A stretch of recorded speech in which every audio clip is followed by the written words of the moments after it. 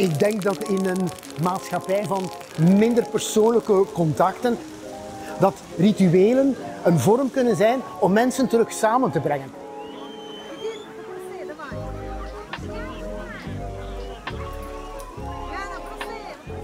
Bij het dubbelfeest van Krakelingen en Tonnekesbrand vieren wij dus het einde van de winter en het begin van de lente. Waar we vier elementen centraal stellen, namelijk het brood, het vuur, de vis en de wijn.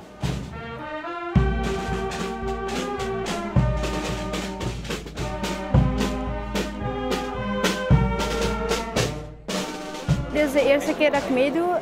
Um, ik zou normaal drie jaar geleden al moeten meegedaan hebben, maar toen kwam corona. Dus toen is niet kunnen doorgaan. Uh, en ben blij dat dit jaar dan wel is kunnen doorgaan. Dus het is eigenlijk de eerste keer voor mij.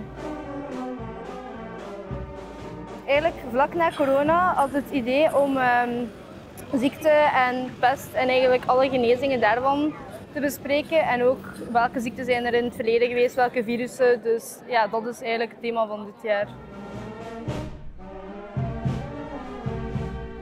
We hebben een wisselend thema, want we zijn een van de weinige stoeten in België, historische stoeten, die ieder jaar voor vernieuwing zorgen.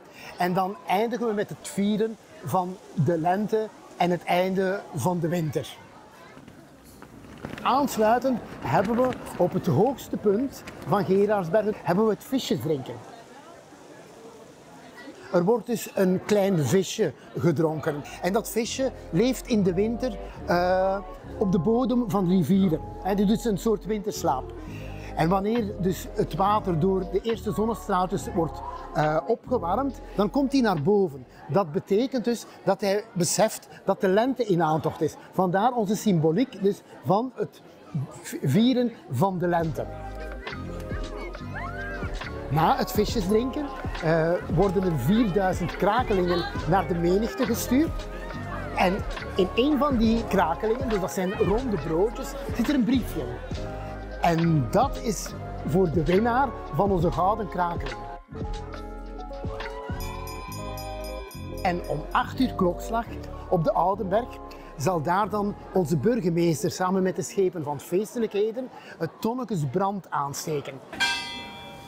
Met vasten is de vasten uit!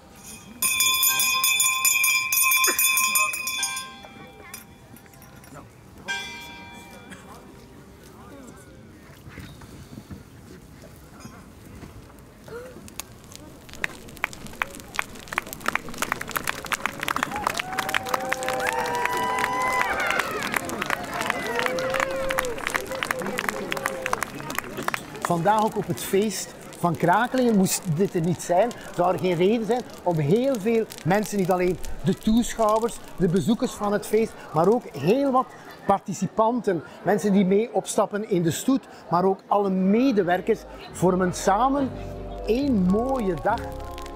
Het is een, een, een manier weer om een persoonlijk netwerk aan te gaan.